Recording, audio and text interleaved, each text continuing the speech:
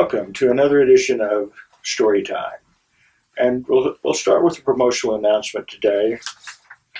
My good friend Professor Kincaid is having a class next fall entitled Latin American, I'm sorry, in the spring entitled Latin American History Through Film. Women in Latin American History. Be there. The story for today concerns uh, my most memorable concert experience.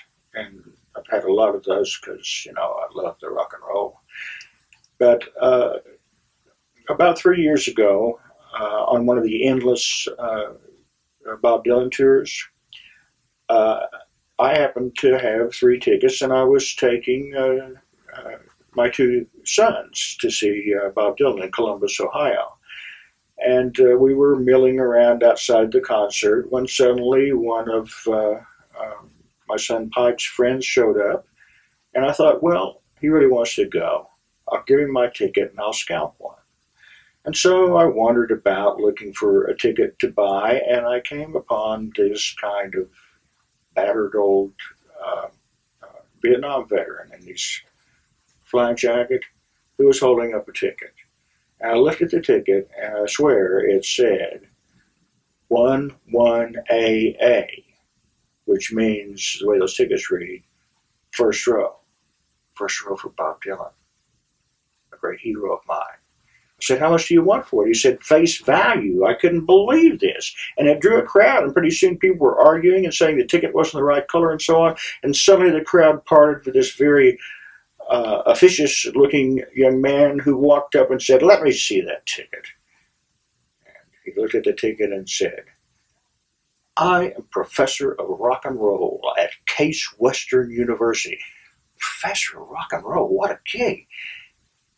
He says, This is not a real ticket. So at this point, the sad old vet stood up, shook his head, took me by the sleeve. I'll never forget that, just like that and pulled me over to the ticket window. He put down the ticket, said, Is this a real ticket? And the woman at the ticket counter said, Well, yes, it certainly is. And if you want, you can take the VIP entrance. Whoa, man, I was thrilled, but I wanted to go in with my kids. So I bought the ticket from the guy, and we hugged and embraced, and we're bonded forever and so forth. And then the next thing I knew, I was walking toward the first row for the concert. I was stopped, believe it or not, at the mosh pit. A mosh pit for Bob. Who would have thought? But I wanted to get as close as I could, so I asked the big tough guy at the gate of the mosh pit, "Can I go in there?" I must have seemed a little frail to him or old or something like that because he said, Well, yeah, if you want to. But the next thing I knew, I was in the mosh pit and at the front of the stage. There's an extremely large woman standing next to me who had, according to her, followed the tour all the way from Alaska. And uh, she, that's what she did. She followed Bob Dylan. And I was talking to her when suddenly the lights went down. You know how they do, boom, like that. I looked straight up and I was staring into Bob's nostrils. And the woman, who was very large, just kind of came around me at that point, and I realized that this is where I was going to be for the rest of the concert. But it was okay because I couldn't have had a better seat. And Bob was I had a couple of uh, young guitarists with him, and he was rocking hard, and it was just incredible. I was just having the greatest time. And then came my moment of flashback because at the end of the concert, I was standing close enough, and when Bob reached his little hand down to shake hands with a few people, I was there.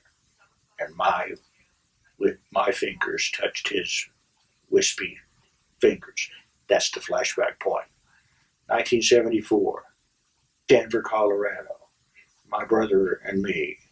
First row seats for Bob Dylan and the band with Levon Helm and Robbie Robertson and everybody. Into the concert, the roadies step aside. People on the front row can go up to the stage on that night as well. Bob's wispy fingers reach down and touch mine. Does history, rock and roll history, repeat itself? In this case, it did.